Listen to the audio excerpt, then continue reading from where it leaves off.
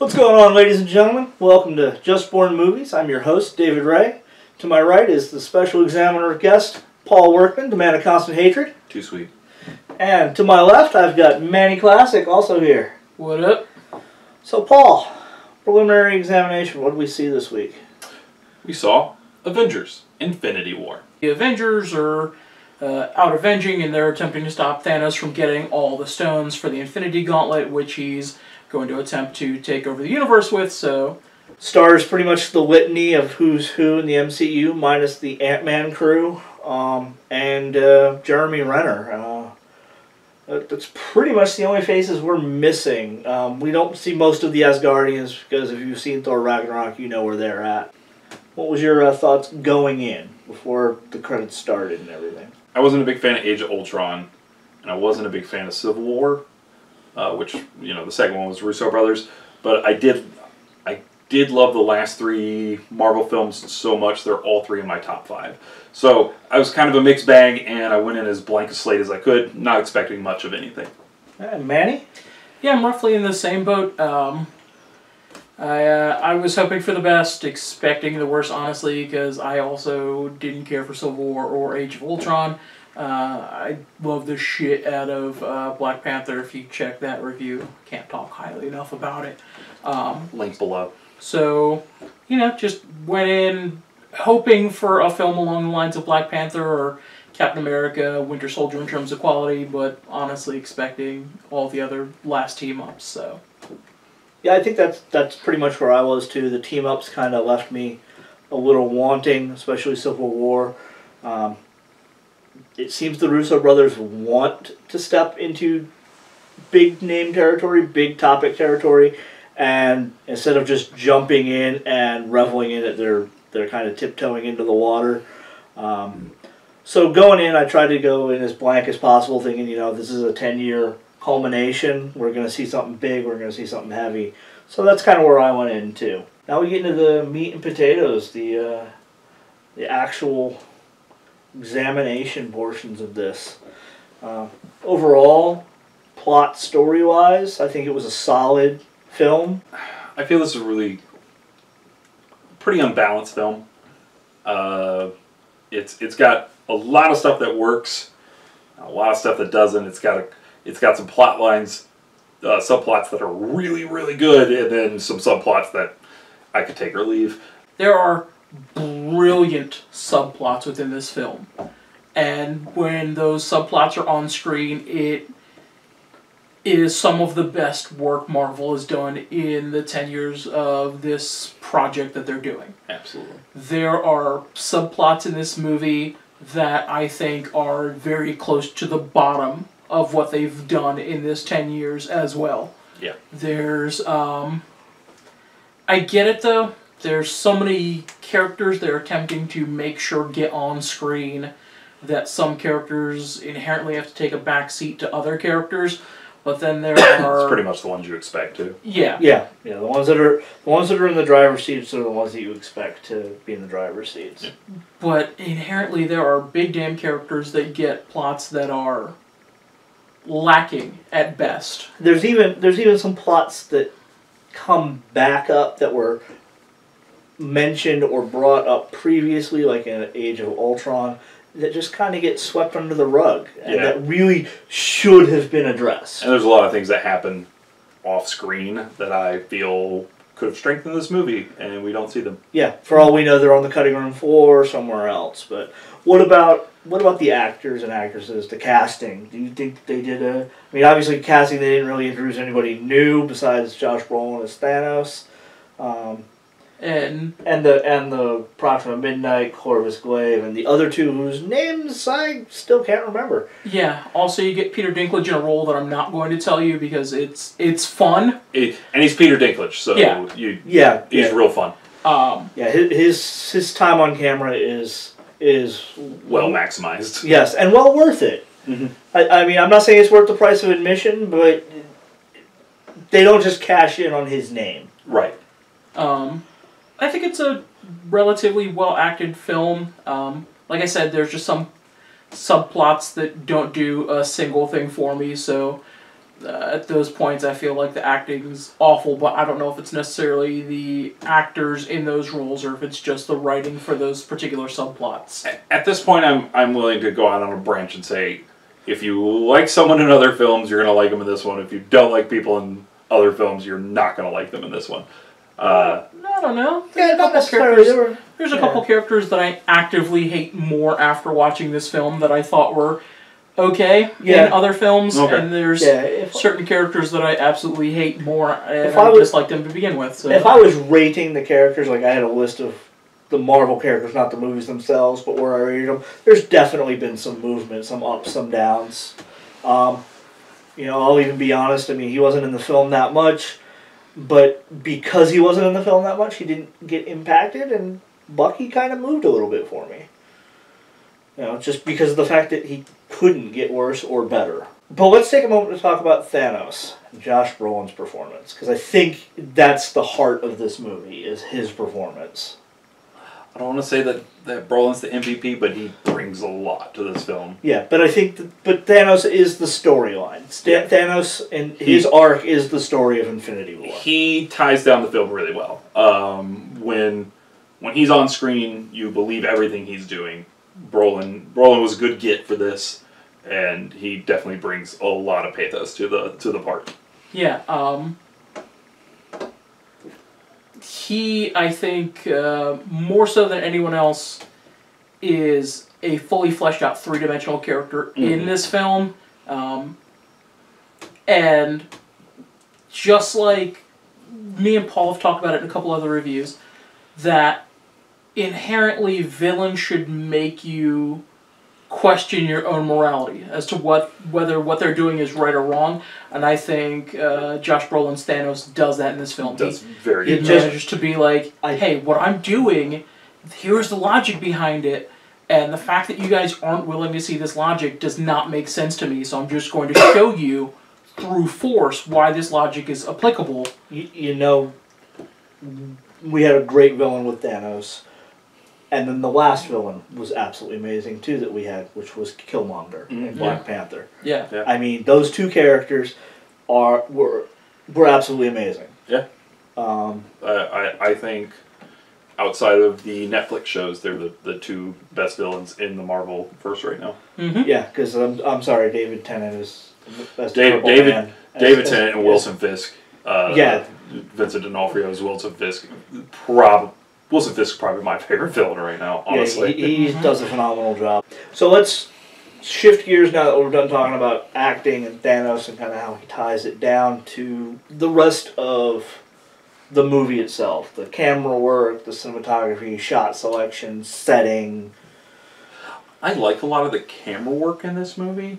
There's there's especially some some stuff near the end where the camera moves in certain ways where I was like, wow, that that was a really interesting shot. shot. Like, Mm-hmm. Yeah, there were a few times like they put you, they used the pan motion they really well because it it put mel- made me feel like I was in the scene versus watching the scene. Yeah. Um, sometimes the, that that panning back and forth, I get lost in it because it, it takes me out. But there were a few times I felt like in this movie it, kind of put me more into the scene.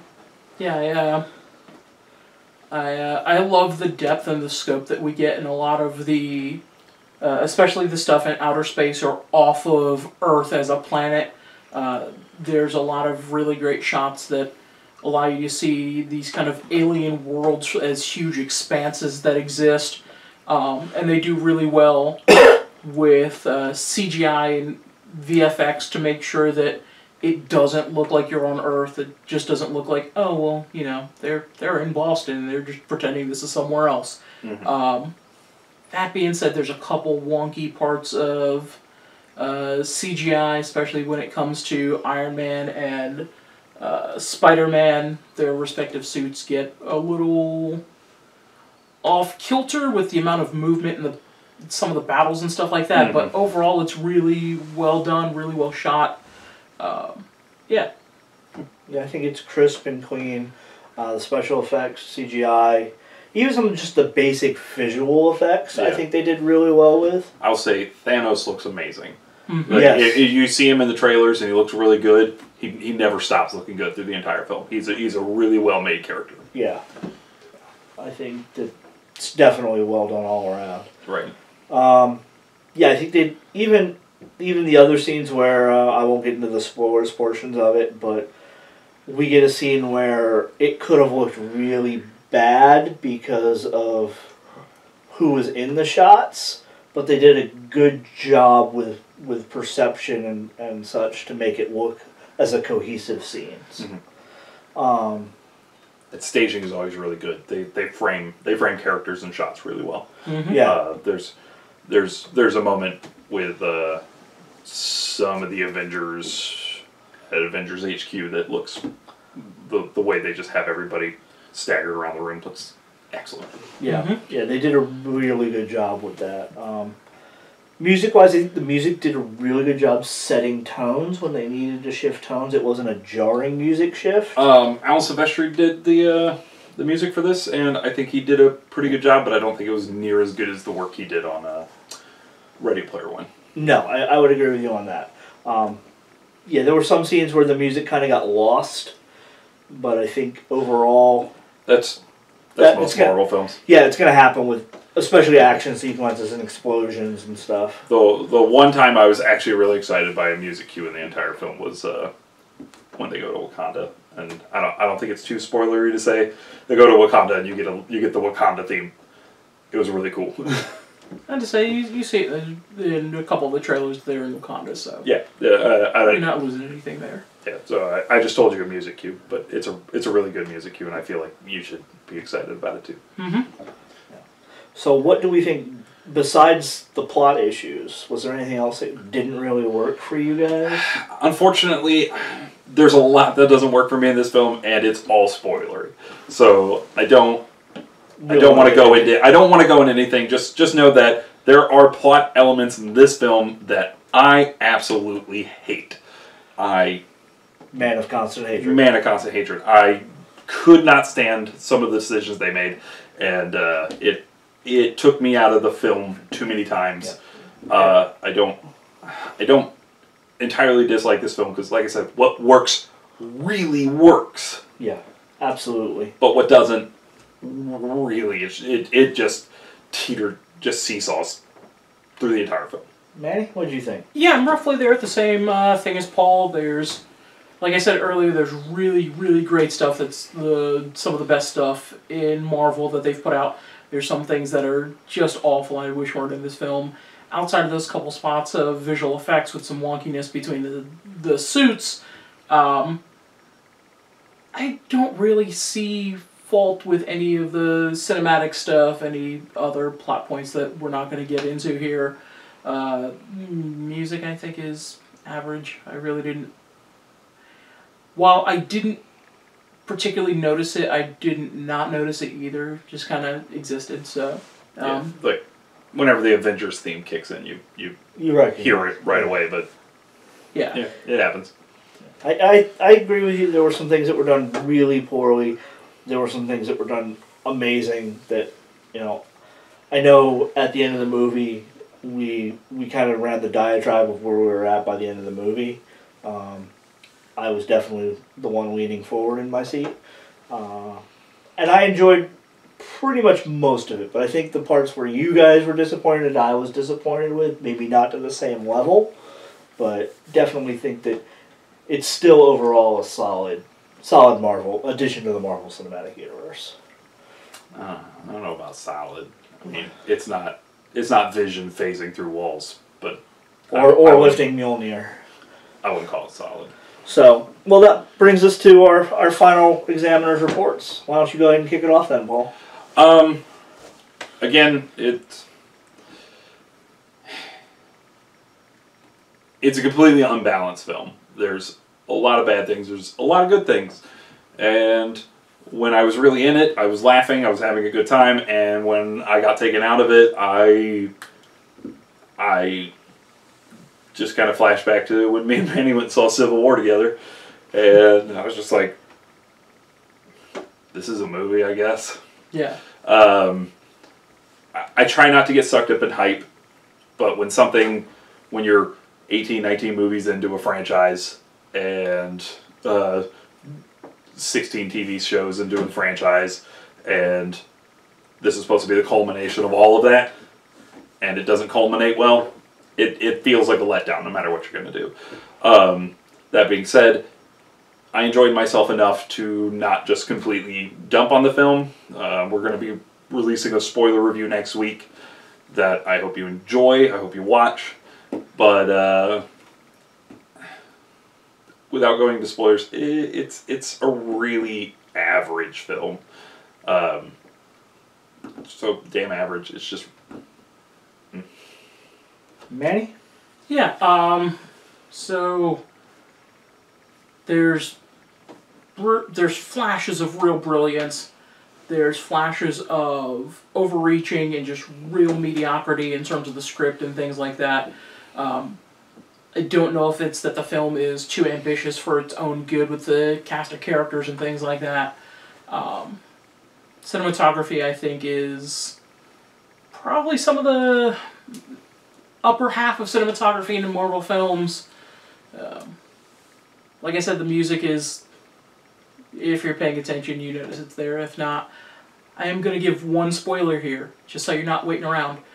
There's only one end credit scene. Don't sit around waiting for two or three of them. There's only one. I'm not going to tell you what it is, but there, there's one. and it's at the very end of the credits. Yeah. Yeah, there is no mid credit scene. Um, in terms of, I guess, on the scale, I gotta go damn average, man. It's just, it's a middling film. Um, there's good stuff, there's bad stuff. It's, hopefully, it gets resolved with uh, the whatever Avengers 4 is going to be. Uh, but for what it is right now, it's it's average. Now, I'm going to be the odd one out. I'm much more on the hype train, but I think that's because I was a lot more emotionally invested in the characters, um, all of them. Uh, we all know where Paul sits on RDJ as Tony Stark. Uh, yeah, he's shaking his head. I see him there. Once again, Paul is wrong. Um, but uh, I think the good outweighed the negatives enough for me to bump it up. Um, you guys both gave it damn average. I think with the performances we got from some of the some of the stars in this film and everything, I'm going damn great with it. Um, I just can't can't get past some of the things that were so well done in this film. I can't knock it below that. It's, there's quite a bit. Um, so with that said, there it is. Avengers: Infinity War. Two damn averages and a damn great. Uh, feel free to let us know what you think about it down in the comments below. As always, uh, please uh, like, share, subscribe, hit the bell notification to let us know, or let you know rather, when new uh, videos are getting posted. Feel free to also jump on over to our Patreon at patreon.com forward slash drinking age movies if you want to support us to get some original content out there and maybe even upgrade some of our equipment. And, and uh, as always, I want to thank Manny and Paul for joining me today. And until next time, keep rolling.